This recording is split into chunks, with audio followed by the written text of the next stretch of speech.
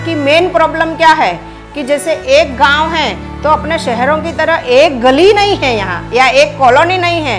एक इस पहाड़ी पे बसा है तो दूसरा अगर आधा किलोमीटर दूसरी पहाड़ी पे होगा यूँ। अधिकांश बच्चों के घरों में लाइटों की बहुत ज़्यादा कमी है।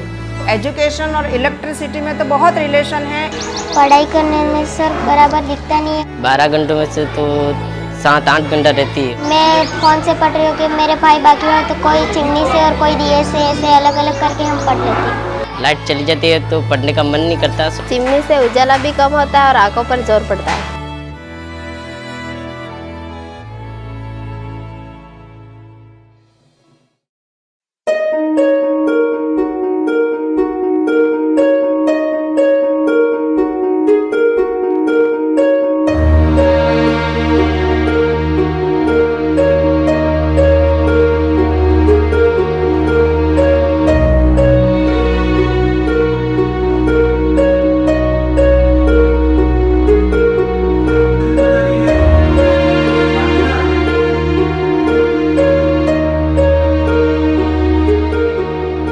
ये सोलर इसलिए इम्पोर्टेंट है क्योंकि अगर अपने घर में बिजली नहीं हो तभी ये काम आता है। हम दुकान भी खोल सकते हैं, इसलिए हम सीखने के लिए आए। घर में बैठे तो भी पढ़ भी सकते हैं, अपना कभी खाना भी बना सकते हैं।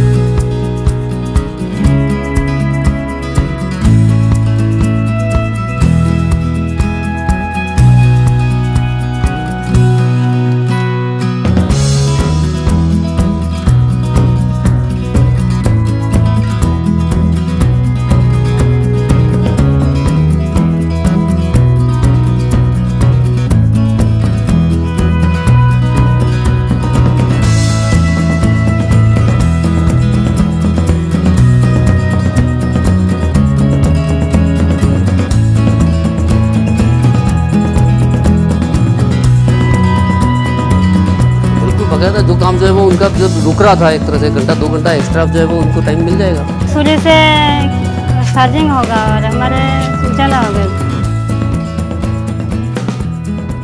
मैंने अकेले ने खोली है ये दुकान।